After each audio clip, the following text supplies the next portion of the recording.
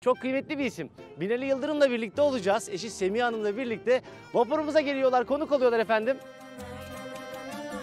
Fotoğraf çektirmek için. Burası sağ taraf sancak, sol taraf iskele. Manevra daha rahat. Binali Yıldırım'a sormak istiyorum. Aklına göre, Aklıma göre. ha, Şimdi kafana göre kafama takıl. göre takılıyorum sevgili seyirciler. Boş ver. Hayatta savunduğunuz en yüce şey nedir desem? Dürüstlük. Dürüstlük. Yani birbirine güvenmeyen insanların başarılı olmaları mümkün değil. Bugün burada olmanızı hangi seçimlerinize bağlardınız? İstanbul beni ben yapan bir şehir. Üst yapıya yatırım yapmamız lazım. Üst yapıdan kastım insana yatırım yapmamız lazım. Tabii herkes farklı mutluluk tanımı yapabilir.